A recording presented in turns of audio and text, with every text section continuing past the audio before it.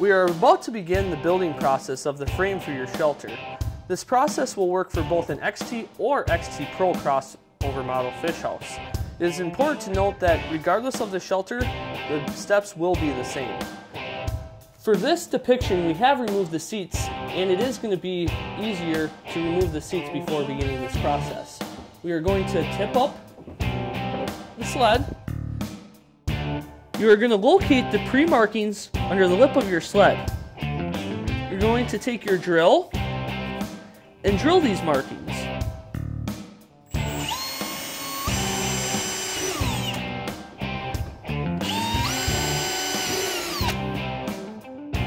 We are now located in the rear of the sled. We are going to repeat the same process and locate the markings under the lip and drill just as we did in the front.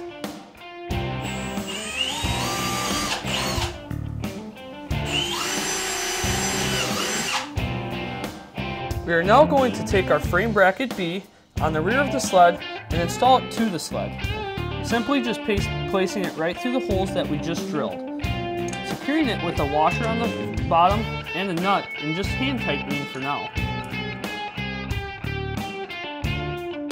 The same process will be repeated on the front of the sled with the frame bracket A. We are now going to assemble the frame. As you can see here, all of them are labeled to where they properly go on the fish house. Once you've determined where these should be located, we're just going to simply click them together. That easy lock, no more screws or anything like that. You just simply click it together, just like that. It's not coming apart. Then we'll go to the opposite side. We're going to do the exact same thing. Just simply click it in there, just like so. Now that that is completed, we're going to take our black clips right here and put them on the end of the, the frame pieces.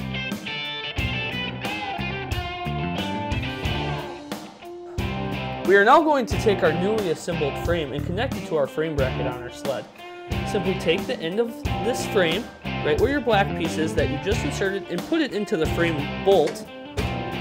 And we're going to hand tighten that on with a nut. We're going to repeat this process on the opposite side, just as we did here. We're going to continue to assemble the frame pieces just like we did here, except for there is going to be a difference on the last piece on the floor, which we'll show next. The last step to the assembly process of the frame is doing the bottom piece that is going to be laying on the ice. As you can see, these pieces are not assembled directly from us at the factory. What you are going to need to do is ensure that your curve is facing towards the middle. Insert that into this piece with your snap facing towards the middle. Simply push it together with this black piece coming across and going into this hole here. You'll now have it clicked in place. The snap button, when pulled out, will come and snap into this black piece now. Now you simply can push that in, connect it to your other frame piece, and connect it to your shelter like you have done with the rest of the frame pieces.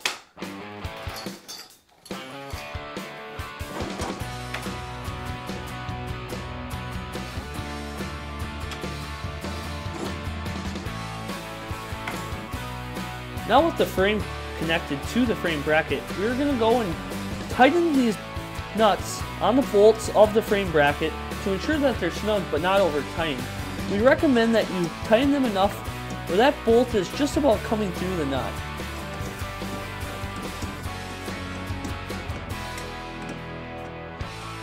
That can now be shown as depicted here.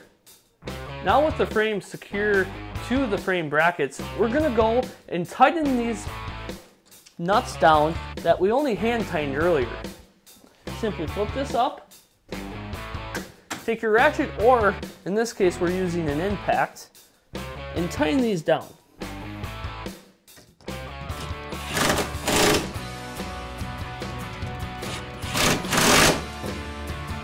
We're going to repeat this on the opposite side.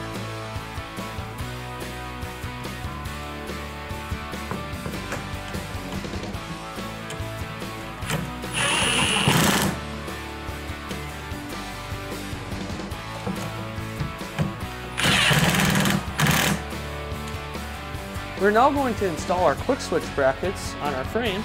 Simply lift up your frame, set it in there as it acts as a sandwich. Put your backside of your bracket on, squeezing it at the same time. For this you will need a screwdriver and just snugging it up for now as we will need to measure to ensure the brackets are located in the right location.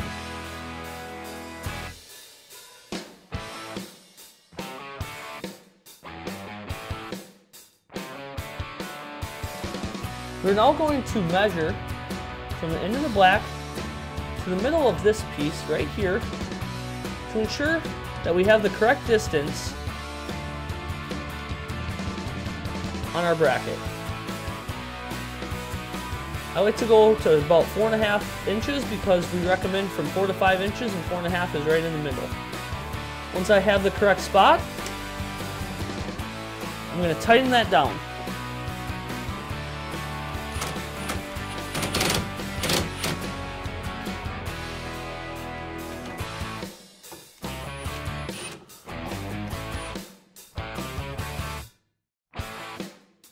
We're now going to rotate the sled and tip it up so we can locate the marking on the rear of the sled under the lip. We're going to go and drill that hole. Just like so. This is going to be used for our rear wind pole in the next step.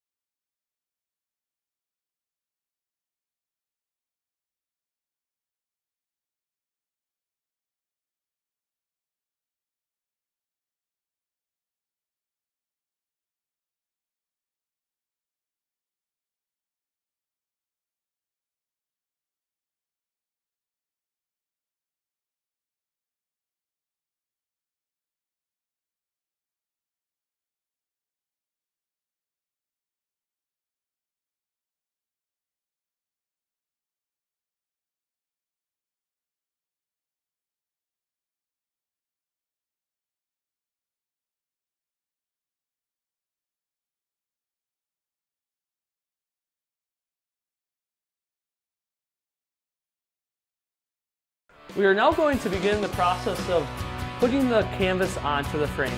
But first we need to insert the wind poles to be able to do this. So what we're gonna do is Michael's gonna help me because this is easier with two individuals. Um, so we're gonna do this quickly and try to show you guys the most efficient way. So we're gonna start by expanding this pole. We're gonna set that down, just like so. We're gonna repeat that with all of these poles. Set it down. This third one will rest on this top here.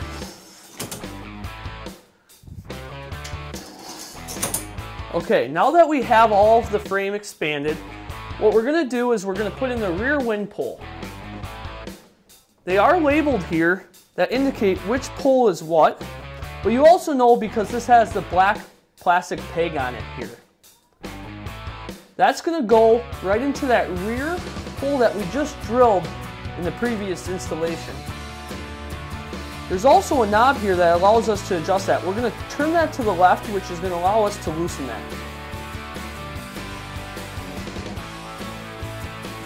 We're going to insert that into the hole, expand it here, and clip it in, slightly tightening the plastic knob. We're now going to take the top back and connect it to the middle, and then the rear. We're now going to go to the piece with the pivot.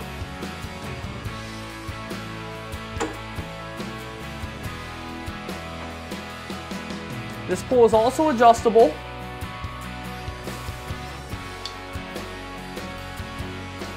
Which we will mess with the adjustment in the canvas fitting.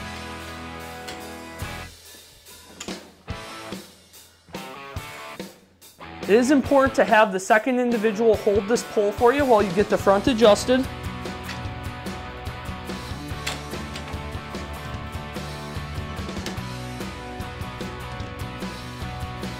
You now have the wind poles in place and can begin the canvas installation process. We're now going to lay out the canvas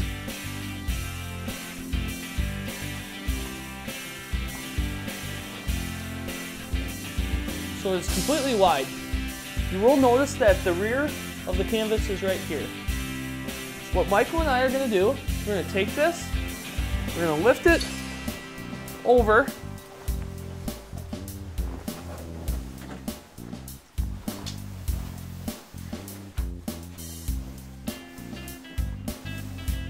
Once you get towards the rear, you will need to do some adjusting as you come.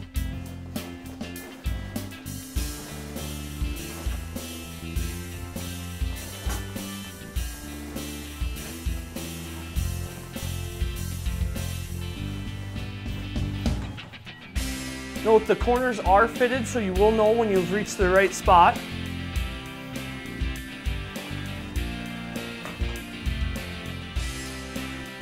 Now that the canvas is over the frame, we are going to need to Velcro the canvas to the frame. So what we're going to do for that is we're going to actually go inside here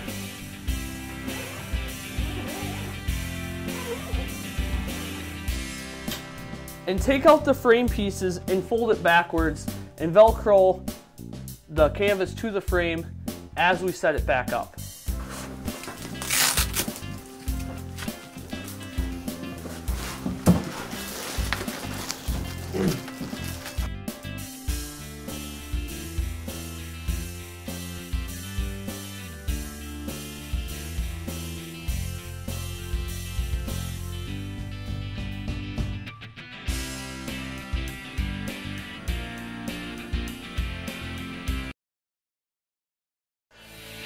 Going to begin putting on the trim lock. So what this is going to allow us to do is to secure this canvas to the sled. So we're going to start on the back side here with the longest piece. We're going to push that on to the sled, just like so. I now have this piece on there. I'm not going to put my screws in yet because I'm going to do all four sides and the last two pieces here to ensure that the canvas is fitting properly and if I need to make any adjustments before screwing the canvas to the sled and not putting holes into my canvas. So now I'm going to go around and do that.